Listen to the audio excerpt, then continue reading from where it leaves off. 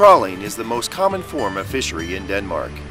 It's versatile and very effective, but it now faces two great challenges. The biggest challenge is the increasing fuel prices that put pressure on the fishermen's income. The other challenge is the continuously increasing pressure from environmental organizations and the EU to reduce impact on the seabed. This is a project where both challenges have been solved with remarkable results.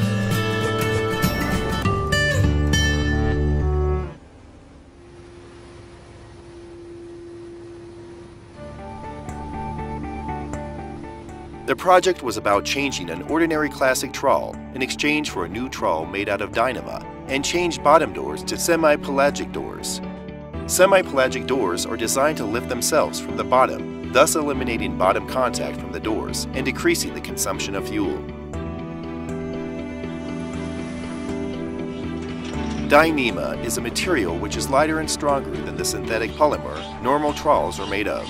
In a special process, the molecules are stretched in order to arrange the microscopic carbo chains in parallel, which makes the fiber a lot stronger and less elastic. In this fashion, it is possible to make bigger trawls and catch more fish with the same consumption of energy.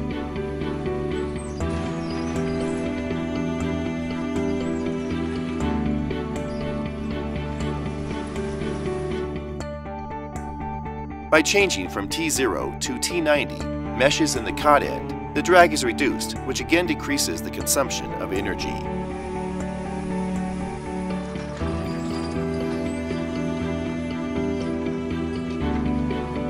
In order to launch the project, we needed an experienced and innovative skipper. Tam Bolt on the trawler Algae Postma was asked and luckily he accepted. Tam's trawler is rigged with a twin trawl, the obvious thing to do was to swap one of his trawls with a Dyneema trawl and measure the catches of the two trawls individually.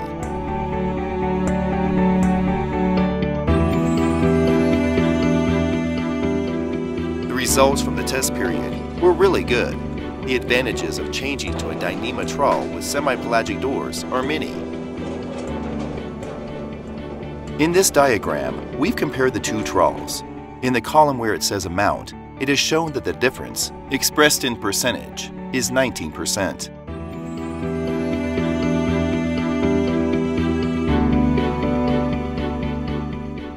If you compare the excess earnings with the fuel consumption in the given period, the excess earnings are 13%. This corresponds to 60% of the fuel consumption.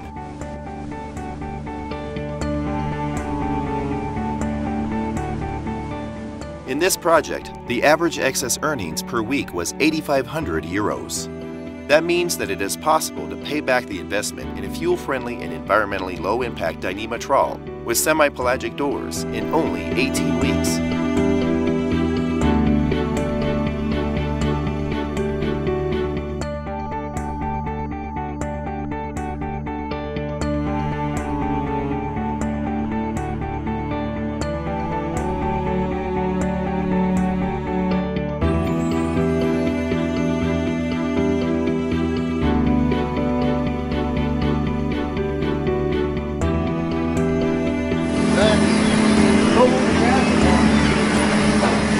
Hvad er Willem? Er det en god fangst?